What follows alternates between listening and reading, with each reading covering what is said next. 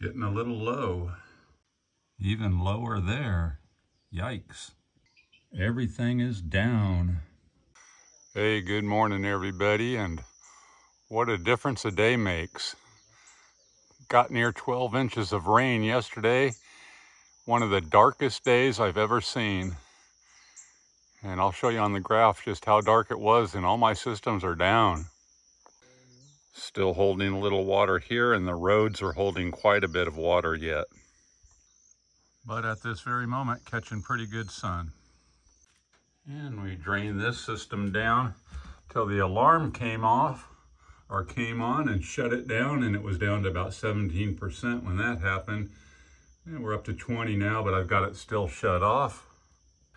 And this system here, although it never did shut off, it's only showing 14% right now. I expect it to shut off any minute and the sun's just about to hit those panels, so I might just eke by on that one. And then this one, which is my backup, always ready to go. Had to deplete that. Uh, it didn't actually shut off, but it got down to about 15% and was close, so I had to discontinue that one as well and try and let it charge up. There's a little bit coming in right now. So, I'll take a peek at what yesterday looked like. Darkest day I think I've ever recorded. So right now, I've got, I'll move that out of the sun there. I got 83 watts coming in, but let's go to yesterday and take a look. and there's yesterday, 140 watt hours is all that was retrieved on that system. And that's got 700 watts of solar tied into it. So as you can see, I was doing okay. Uh, although I was really working it very hard the past few days, even though it wasn't the absolute best. I was draining it down using all kinds of appliances, having fun with it. And then on this system here, 500 watts of solar tied into it, only 69 watts at the moment. And yesterday, again, the darkest day ever. What'd we get? 90 watt hours on a 500 watt array. And then on the 24 volt backup system, uh, what do we got now? 16 watts coming in right now uh, out of 300 available. And yesterday, what did we get on that? 20 watt hours.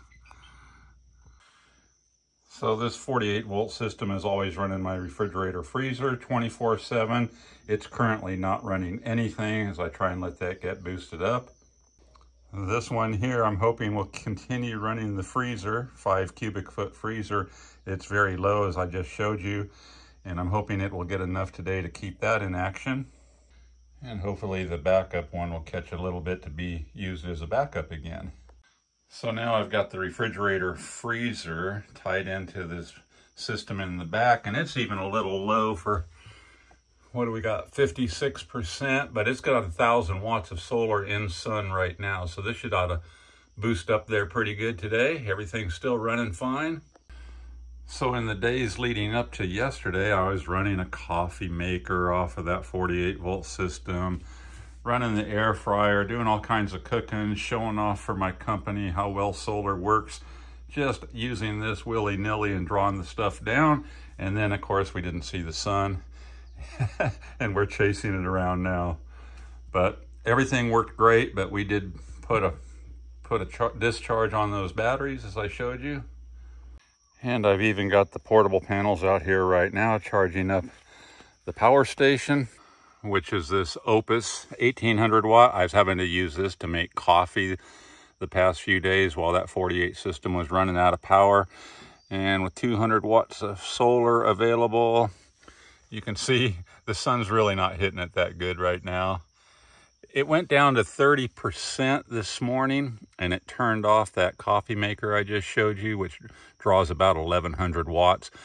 So it wouldn't let me get it much lower than, well, at 30%, it kept just shutting the coffee maker off and giving me a little error up here. I assume that it was kicking in to not let it go lower than that to, to uh, keep the battery in good shape. So here in a little bit, hopefully we'll catch closer to 200 watts and get this back up there too because This was the coffee maker for the past couple of days. But of course, there's excess of water. And this array in the back of the house is not really catching good sun yet. Hopefully it will later and give those batteries a charge. But yeah, the water tank's been overflowing. It just stopped flowing out of its overflow right there with the last little shower we got. Excess water and hoping that these conditions continue a little bit today. I do have a couple of batteries fully charged, ready to change things out if need be. And of course, I always do have a generator, but I'm trying not to use that. I've got batteries I can slip into place before I'd have to resort to that. I'm going to try to avoid even having to do that today. So yeah, every now and then that's how it goes. You know, you chase power around. We're jockeying it around a little bit today, keeping everything up and running. I think it's all going to be fine. I may have to slip in a, a battery on that freezer system at some point today, but I've got a 200 amp hour fully charged, ready to slip that in there, which will easily uh, run everything. And yeah, that back chin system should keep the household running just fine today. It'll get pretty good sun, but yeah, not the greatest conditions. I mean, we got a little blue sky peeking through here and there, but it's all good. So yeah, we had an exciting time getting back in here. We'd made a little town run uh, yesterday and the sky opened up and had to cross one puddle engine compartment deep and I probably should have gone around the block to avoid that but I went ahead and trudged through it anyway made it very exciting for everybody uh, what it's like back here but yeah on hindsight I would have gone around the block on that one I was risking uh, being stalled in that and that would have been quite embarrassing but it all worked out fine so every now and then it goes like that. And as I showed you guys on the log, uh, when it gets dark here, it can be so dark that, I mean, basically zero sun's coming in. Doesn't get that dark very often, but when at one point we were being alerted on our phones that it was coming down at four inches an hour yesterday, and it, uh, it was pretty serious rain. But yeah, the difference a day makes. Yeah, still not great, but we're catching some sunshine. But yeah, I was running the air fryer like crazy the past few days. And yeah, I've got company in here right now that um, I'm just saying, look at what we can do on solar, you know, making meatloaf, coffee, everything, high wattage appliances. And I could see the systems all going down, but I was like, okay, well, the sun will come out. Well, it didn't, but that's okay. It will. And on the plus side, it had been a little dry, so the jungle is very, very happy. Everything got a good drink of water. The best of both worlds. And boy, here comes a good burst of sunshine, and it's getting up there now that all those back panels should start catching some sun here today.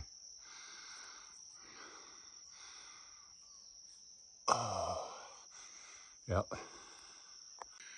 And the pigs did a little damage here, but they didn't tear it up too bad before I chased them out of here. And they have not been back. All right, guys, just showing you how I do things when when you have to kind of move fast to keep everything up and running. Yeah, that 48 volt system woke me up in the middle of the night, chirping out of power. Had to switch it over to the back room. And uh, at least they tell you, at least they wake you up and say, hey, nothing happening here. So everything's up and running, looking good. We'll catch back up eventually. And uh, still have not had to run that generator in a couple of years, I think now. Uh, I wasn't so sure what today was going to bring. They were saying it might be dark and rainy, but it's pretty good. So hope you guys are having a great day. Everything's good out here. Catch you on the next one. Aloha, everybody. Yeah, come on, sun.